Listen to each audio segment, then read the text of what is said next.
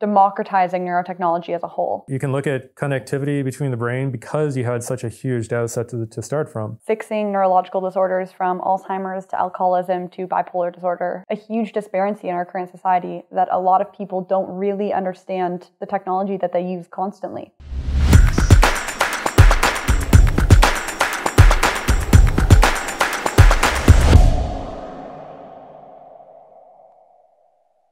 Hello, and welcome to IDUN Technologies podcast.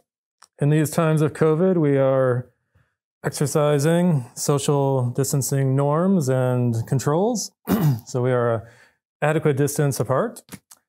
Uh, my name is Mark Malikovic. I'm an application engineer by IDUN Technologies, where we develop neurotechnology devices and electrodes and applications, creating the Internet of Humans.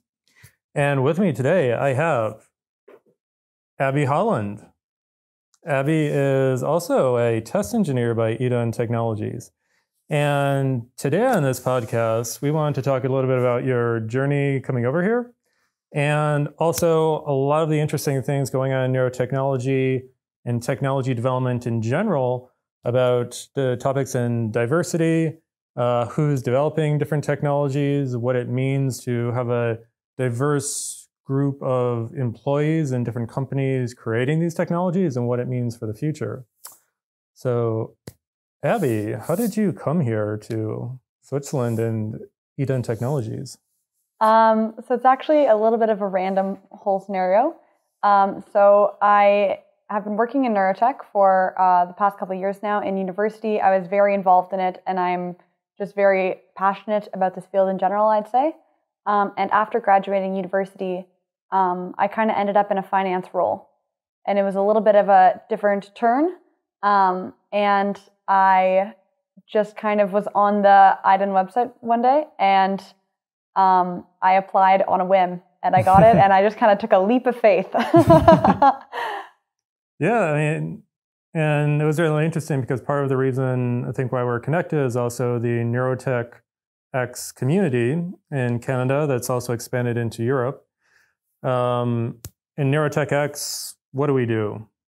Um, so Neurotech X is a not-for-profit, largely focused around um, helping people get started with neurotechnologies. So whether it's playing around with neurotechnologies or expanding education into groups of people that might not uh, stumble into it themselves, um, it's really about democratizing neurotechnology as a whole. Um, and so I've been very involved with this not-for-profit for a couple years, I'd say. Um, and you guys are too here. So I think that's a great level uh, of connection that we had before I moved over here. Yeah, I mean, it was interesting because we were uh, looking around to, for different communities because every time you're, I think, working in different technology and product spaces, it's really interesting to connect with people locally and then also globally. So in the past, I was also involved with uh, Hacking Health, which was also a Canadian organization.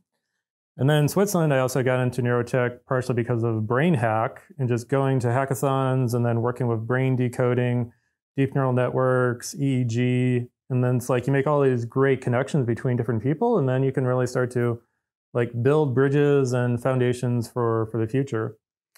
Um, and nowadays, the the topics of diversity is really big in different technology centers. Uh, in startups, in big tech companies like a Google or a Facebook. And I was wondering, you know, when we talk about diversity in companies and technology products, like what does that mean for you? Um, for me, diversity throughout technology uh, specifically just means that everyone at every stage of the technology design process is represented. Mm-hmm. So that's different skin colors, it's different genders, it's different ages, it's different uh, neurodiversity backgrounds. So both mental health and physiological uh, illnesses are represented. Mm-hmm. And um, that's in the data measurement process all the way up to the end user process. So any kind of technology like this that's going to be in everyday households and is going to be used by um, people constantly, just like a smartphone is today, mm-hmm. uh, really should be usable advantageously for every single person on this planet. And that's really what it's about to me. Yeah. And I mean, I think this has also permeated different sectors of the economy for, for decades or centuries. I mean, also the way that we test drugs. I mean, I was just reading uh, about some of the latest COVID vaccines, and some people were saying, "Oh, but it's critical that we test these on uh, people of color and different segments of society." And I'm like, "Well, yeah. I mean, obviously, isn't that like how you would normally test a new product or a new medical treatment?" Yeah, it's really one of those things that seems uh, it seems obvious mm. when you're kind of looking at it from the outset, but for some reason, it just isn't obvious in our society yet. Um, like one funny example that I always like to think about is you know that diversity is an economic benefit when Goldman Sachs makes their chair board mandatorily diverse. but like like getting back to that term, when you say diverse, um, I mean there's diversity of like features of a person, diversity of thought, diversity of like where they grew up. Like I came uh, from the United States, but I'm like my whole upper education was in Switzerland, so I'm like technically more of a Swiss engineer than you know an American, even though I came from the Motor City and you know automotive engineering in, in my background. So like if we're thinking about also designing or bringing people into teams and organizations, um, how does that idea of diversity really define like how we bring in people into those into those sectors? Yeah, I think that everyone coming from different backgrounds uh, and bringing different experiences really, really helps for the design process. I know even here, for example, I would say our team is very diverse. Um, mm-hmm. Even though it's small, I'd say we have multiple populations represented. We're from all over the world. We have multiple skin colors. We're 50 50 gender. Um, it feels very diverse. And you can even tell that and you can feel it when you're designing the product. Like when we were working on the uh, on our current designs, I know that we were sitting there with people from India, Canada, the United States, Germany, and Switzerland. Mm-hmm. And we crossed so many different uh, diverse check boxes, I'd say. and you could, uh, everyone had a different uh, background and a different point of contribution to bring to the table. And I think that you can really feel that. And I think it really benefits the final product that you can produce. On the other hand, we're all basically engineers, though. I mean, like there's diversity up to a certain certain point. Um, I mean, I'd, I'd, have also been uh, another company in the past where I was doing mechanical engineering, and I mean, we also had a lot of check boxes checked, like a guy from India, a guy from Australia who spoke German, a guy from Germany. Actually, no real Swiss engineers in that organization. Um, and then we had uh, some people coming who were basically all coming from a similar university in one of the other European countries. So in a way, our culture was actually dominated, actually a bit, I would say, too much by just by one cultural look at, at the way that we were developing products. But it wasn't done, you know, I would say intentionally. It was just a natural thing to, to happen. Like if you go to a university and then you go to a company and you want to hire an intern, well, probably because you had connections at university, you might be pulling in people from that university. So I'm wondering, like, uh, going forward, how, like, like you say, bringing in these different perspectives is going to be important, and how that can be, let's say, scaled um, while still maintaining the the direction that we want to go. Yeah, definitely. I think that's uh, a wonderful point to bring up, and uh, definitely, like you say here, we are basically all all engineers, which I guess makes sense for a small startup that does product design, but you're completely correct in that uh, we can't just take from that bracket because mm-hmm. all of us can use engineering specific terminology and logical processes, but that in itself is a very big limitation. Um, so I think it's really, really important to consult the end user of the product. So for us, we're really trying to bring products that can be used by everyone. So mm. we need to figure out the user requirements by talking to the people that might be using it and getting some user experience feedback from the very start. Yeah, definitely. I mean, talking to the user is like entrepreneurship 101, startup 101. Although I have to say, in, when you come from a technical university, you, that perspective is oftentimes lost. I think it's starting to change quite a bit because we get more like what they say cross pollination between business schools and engineering schools. And so the natural focus on product value can like start earlier on in the process instead of saying, hey, we have this amazing sensor we developed in the lab. Let's sell this as a product. And you're like, well, that's not a product. That's a technology component of the product experience that you could build for a customer if you understood them. Uh, so it, it seems like, you know, also when we had augmented reality coming up like a decade ago, there's always this idea like there's this great product feature to overlay augmented experiences onto our, our real world experience. And now, what are you going to use it for? And I mean, AI, I think, is kind of in the same ballpark nowadays where, yeah, it's really interesting to be able to distinguish between a hot dog and a fire truck when you're looking at a piece of video. So we can classify objects, but you know, at the end, what what are we going to be using it for? Yeah, I think that's a I think that's a wonderful uh, point, and I think, yeah, I think that that's kind of where the other groups can come in. Is if we as engineers mm-hmm. are able to build this uh, component that can be used as a tool, uh, other perspectives and other backgrounds and other uh, fields of interest and work can really leverage it into using it in a really wonderful application. Like I know mm-hmm. one one uh, domain that I don't really have that much expertise in that's really popular for neuroscience is using uh, neurotechnology in artistic demonstrations.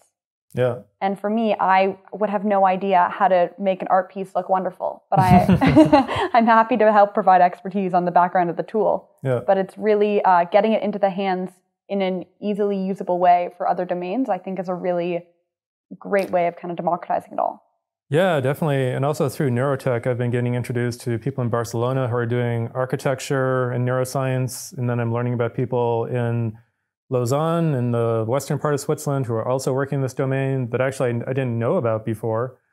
And I had to go to uh, you know a meetup group which was talking about I think so Neurotech X had a they had a weekend course. It was about like BCIs and game development, and it was only through some of these um, there's some of these meetups where I started to actually also meet some of the people in Switzerland who are working more towards the design part of uh, neurotechnology, and we're, we're, we're probably more focused on the hardware sensor design right now, and we're trying to build these bridges.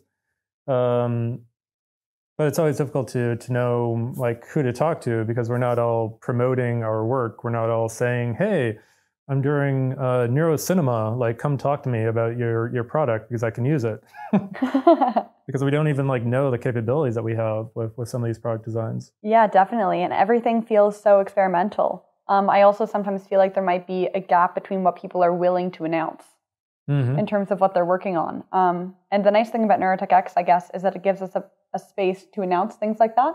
Yeah. But it's there's also so much going on. I mean, I check Neurotech X probably every day, and there's there's so many new messages and yeah. people working on really interesting projects and producing really cool new things and new domains every single day. It's really hard to keep up almost. yeah, and also to know like where like you fit inside that community because uh I mean when so much cool stuff is happening, you also run the risk of getting lost in the sea of like, oh, this happened, this happened, this company just released this product. Um, but at the same time, you're you're doing your own thing, and it's also significant what you're doing, even if it you know you're not the person who's on social media all the time. So it's always, um, yeah, I'm really wondering where where we're going to go over the next couple of years, and how that's truly going to develop. But I think building bridges is like one of the first essential things to do to then get the product into different applications.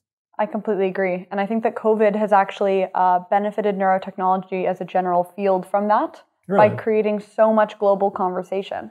Mm-hmm. Um, like generally, the hack nights are all in person. So the San Francisco hack night is in a singular lab in San Francisco, and everyone meets up and chats in person. But now, yeah. With them being online, we're able to bring in speakers from all over the world, and I'm able to attend mm-hmm. while sitting in Zurich. so it's a really interesting uh, new development and cross communication that's been enabled from this. Mm-hmm. So basically, I mean, for you personally, like what impact do you want to have in this field? Um, personally, I'm attracted to the uh, mental health potential applications. So that's fixing neurological disorders from Alzheimer's to alcoholism to bipolar disorder. I think mm-hmm. all of that is extremely interesting and is definitely heavily regulated, um, which may make it a little bit more challenging for something like a startup. But it's extremely interesting and it has so much potential to make a really big impact. Yeah, like scaling the the characterization of the patient journey, I think is one of the coolest things that's going to happen in neurotech over the next five years with these like everyday um, everyday brain activity devices that are being developed. Definitely. And even simple things like uh, the brain training wave that has come out recently that is shown Mhm. to kind of decrease the long term effects of Alzheimer's or dementia. Mhm. I think something like that is going to have tremendous effects and is really going to become the norm. yeah. And I'm excited to kind of see where all of that goes and the kind of new discoveries and what Mhm. that can lead to in terms of people's day to day lives. Yeah. And so, what are you working on uh, as well with NeurotechX? Um, so right now I'm running the NeurotechX chapter with you, Mhm. which is kind of fun. Um, and then additionally, I'm running the diversity initiative. Um, so for that, our focus specifically is to try and reach out to groups of people who might not currently be exposed to neurotech in general, um, and to help present them tools which they can use to become more educated, and also to connect them with uh, potential mentors and mentees to help them uh, join into the field in a quicker way, and therefore Mhm. increase the diverse representation within our field. So, I mean, like, what impact do you think that would have? Because we have, I don't know, when I when I think about like neuroscience and neurotechnology, it's like there's these hackers who maybe are doing cool stuff with OpenBCI, flying a drone, for example. You got like hardcore researchers who are like doing MRI studies, um, and then there's I see this like expanding middle ground where you can build some neurotech products into experiences that can be used for things like I think you know patient or treatment journeys or building connected homes and devices. And you know we, we've had all these issues about saying that you know technology is um, like racist sometimes because an algorithm was trained in a certain way. And i remember going to the applied machine learning days conference in lausanne and there was a researcher talking about this like they wanted to create you know initiatives about more inclusivity uh, bring people into workshops, for example, and really just, I would say, opening the valve on knowledge so that you can then understand how something works and then apply it uh, in your own life. And I'm wondering, like, what's the best way to to really do that? Yeah, I really love that idea of just opening the valve and kind of having everyone learn more about it. Mhm. um, especially for things like day to day technologies. I think it's a huge disparity in our current society that a lot of people don't really understand the technology that they use constantly. Mhm. I mean, me too. I don't understand what goes on with my phone. I, don't, I do not know how it works, but I Yeah. just trust that it does. Um, but understanding technology, especially when it's directly related to your health or to your personal biometrics, is extremely important, and especially when it does have inherent biases. Yeah. So something like facial recognition and the inherent biases that go along with that is a really good example of something that could happen if we fail to uh, open the valve, I'd say. So Mhm. by keeping the technology development in a small group of hands and by not testing the technology originally on more people, we're limiting our data inflow supply and Mhm. therefore increasing the odds of the results being biased. I mean, the data inflow is really a big topic also in the EU because there are some initiatives about um, basically SMEs, small businesses developing AI products, but having access to the data. Because, I mean, depending on how you design your algorithm, you can train a very good or what we could call a bad algorithm. Um, and when we talk about diversity, it seems like just having access to data sets which can be used for commercial purposes and not only for research purposes, but are, I think, also owned in, in the way that they can be added to, where we are adding classes which are more inclusive or like basically covering a spectrum of what that image means. So, is it a fire truck? Is it a fire truck in uh, Paris?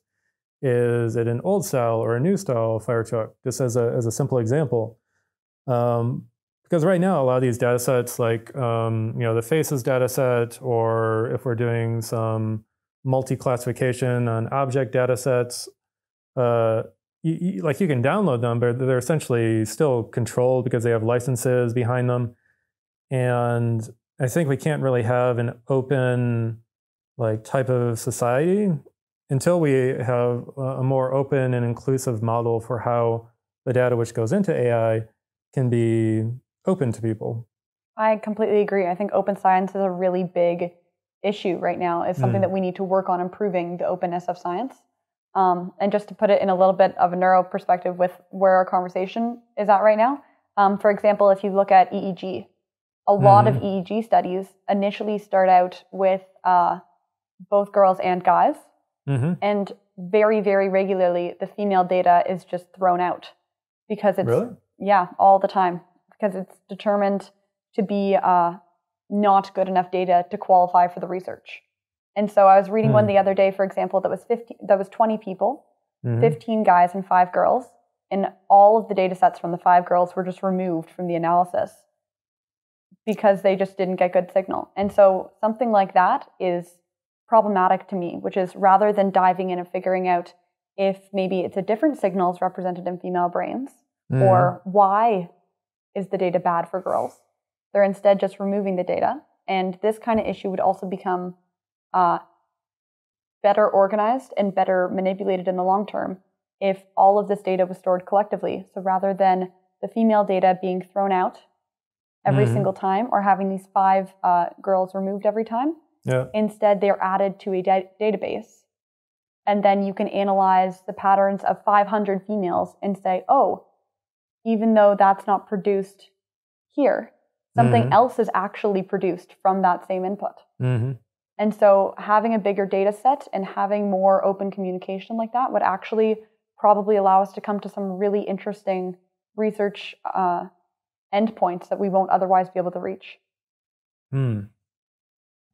I mean, the what I'm hoping is also we'll just have larger study populations to begin with, because EEG, although there's like great advancements in signal processing, like the ability to scale a study with EEG and brain activity, especially if you're using wet electrodes, is, I mean, it's difficult. It's, it's just hard to do.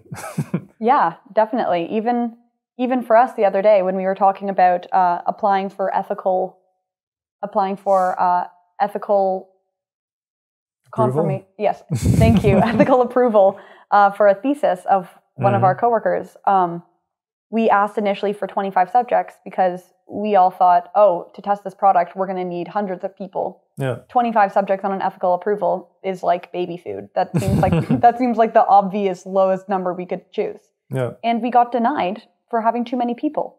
Mm. And they asked us to reduce the number of people. yeah.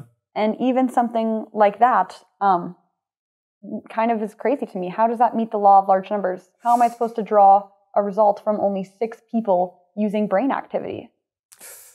Yeah. And, and I mean, and we also have a lot of studies that have been published also with MRI in the past where, you know, it might be a functional MRI study where a person is doing something, then you see an activity in the brain region, and then you draw a conclusion about what this means for the overall structure of the brain as applied to the general population.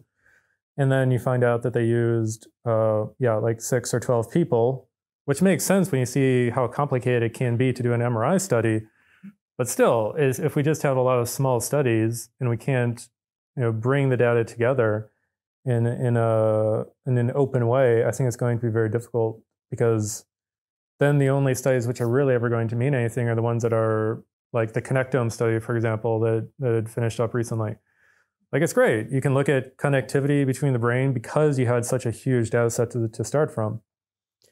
And I mean, you can get access to that data as well. It's just not necessarily so straightforward.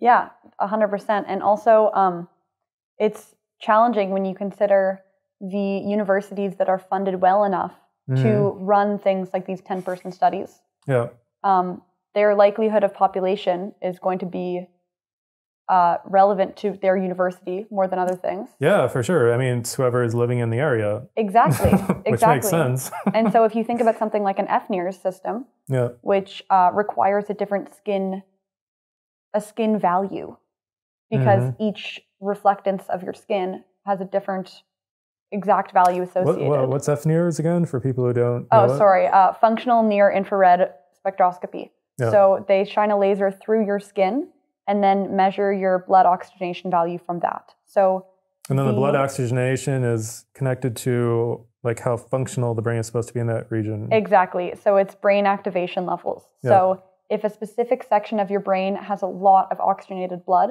you can assume that that area of your brain is working really hard. Yeah. And so, in order to measure those specific metrics, you need to shine the laser through someone's skin. But my skin value for a laser will have a different value than someone of a different skin color because Mhm. the laser needs to in- interact with your skin differently. So, if all the studies are being conducted on white guys, which is the historical fact, how are we going to measure a black female? And I think also the like the Apple Watch uh, had this issue as well. If your hand is well, not just the Apple Watch, but any sort of sensor which is using well the same thing like light reflectance to measure pulse. If your skin is too hairy or tattooed, then that can also create problems. Yeah, definitely. So with all these different variables, um, and there's so many different variables in personal biometrics, how are you able to take a small data set and say that that describes a full population? And even more than that, if you have every if you have the top 20 universities each conduct the same experiment, but only on their populations, and the those populations aren't representing the actual population of the world, you also can't just extrapolate that out to being representative.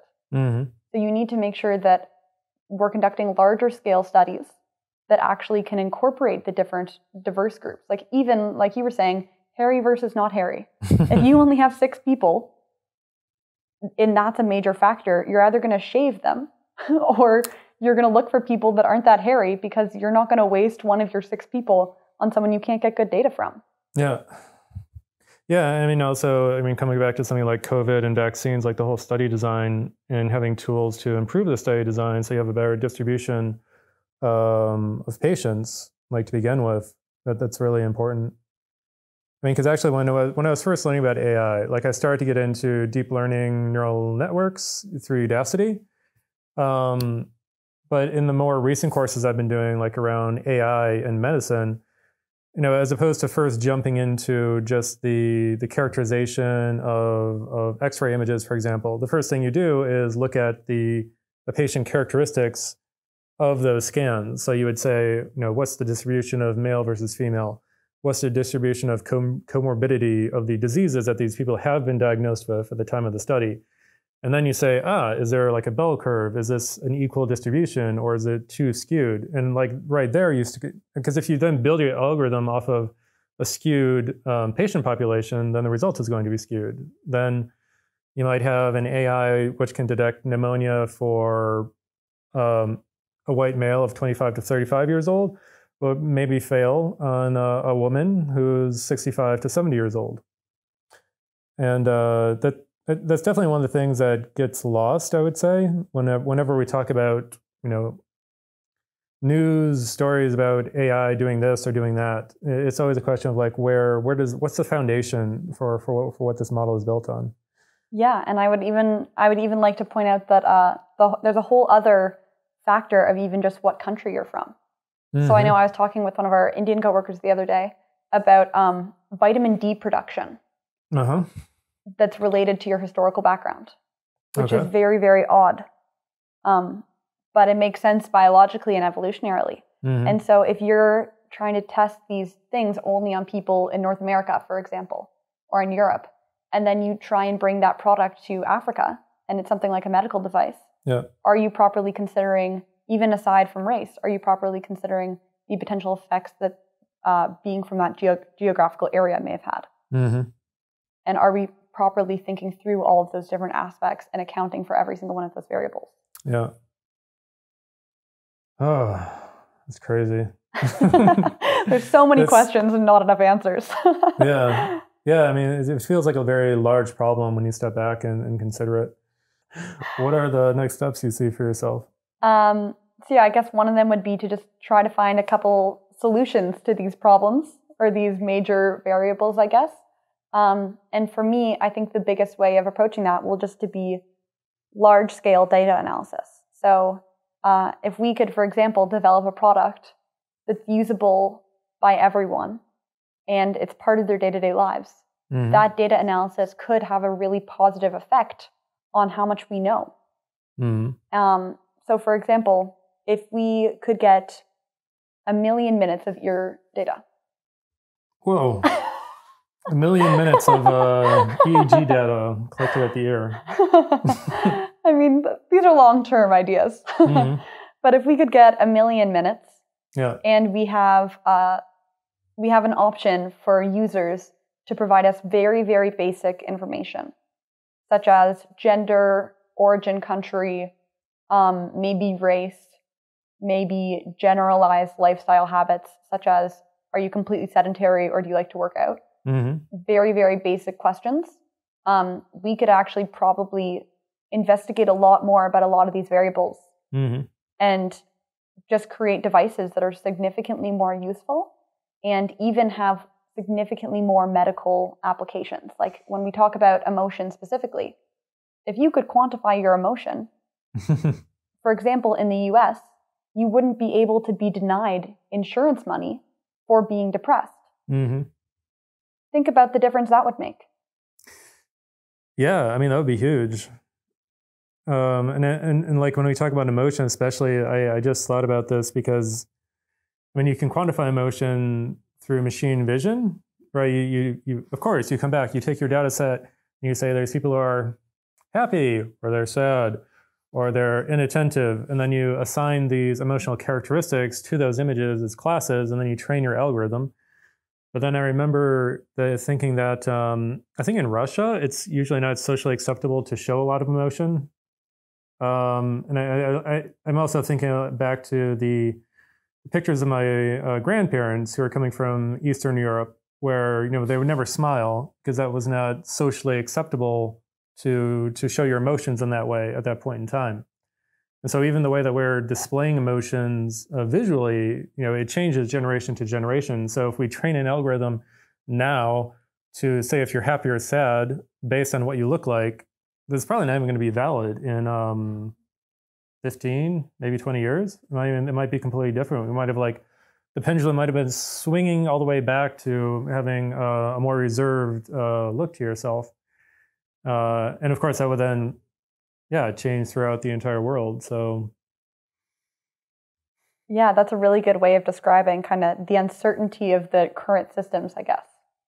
yeah, because right now it's basically train and deploy, and I think it really has to be train and optimize for different people, like optimize for your personal states or the personal way in which you live and exist in the world.